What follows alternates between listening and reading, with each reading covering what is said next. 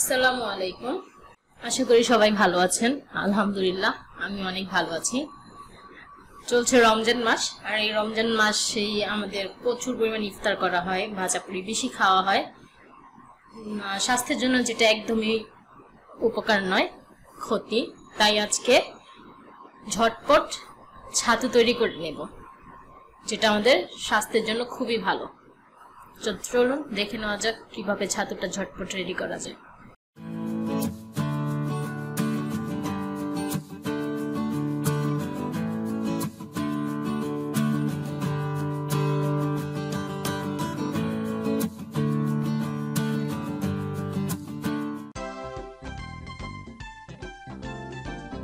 ছাতু বানানোর জন্য আমাদের প্রথমে লাগবে চাল। এটা নর্মালি ভাতের চাল। আমি ধুয়ে লবণ পানি দিয়ে নিয়েছি। চালগুলো ফ্রাই প্যানে দিয়ে দিব। অল্প আছে। ফ্রাই প্যানের আঁচ বাড়ানো যাবে না। অল্প আছে, চালগুলো ভেজে নিতে হবে। চালগুলো সব দিয়ে দেব। চালগুলো দেওয়ার পর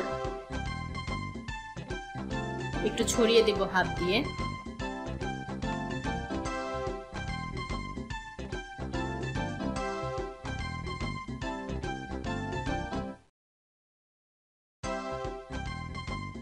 জব এড করে দেব।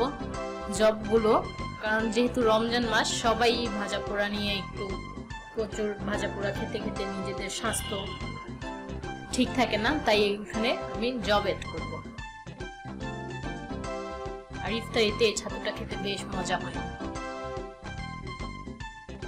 জব দেওয়ার পরে আমি এগুলো ভালো করে নেড়ে চেড়ে নিব এবং অল্প আছে ভাজতে থাকব।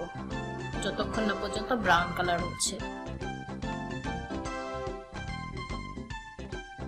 দেখুন, আস্তে আস্তে ব্রাউন কালার হচ্ছে।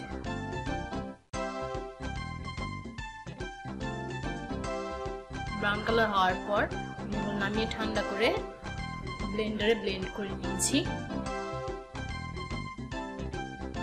তারপর আমি অ্যাড করব গুঁড়ো দুধ। দেড় টেবিল চামচ। চিনি। চিনিটা আপনারা স্বাদ মতো দিবেন, কম বেশি করে নিতে পারেন।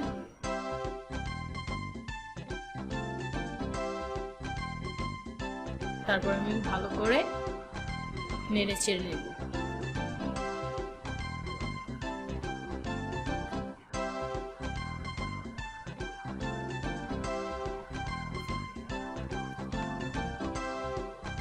নাড়াচাড়া হয়ে গেলে এখানে আমি নারিকেল কোড়া অ্যাড করব।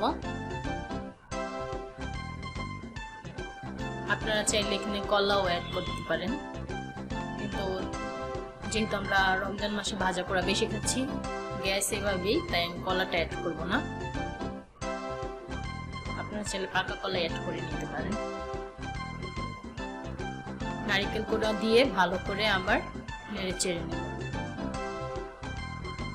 তারপর আমি এখানে আগে থেকে দুধ জাল করে রেখেছিলাম। জাল করা দুধ। আস্তে আস্তে অল্প অল্প করে ঢেলে দেব এবং একটা ডোয়ের মতো তৈরি করে নেব। যাতে একবারে শক্ত না হয়, একবারে নরমও না হয়। এমন ভাবে ডো তৈরি করতে হবে যেন বল আকৃতির করলে বলের মতো এভাবে গোল হয়ে থাকে এবং হাতে ধরলে এটা ঝুড়া হয়ে যায়। দেখুন, আমি লাডু ছাতুগুলো বানিয়ে নিয়েছি। আমি গোল শেপ করে নিয়েছি। আপনারা চাইলে যে কোনো শেপ করতে পারেন।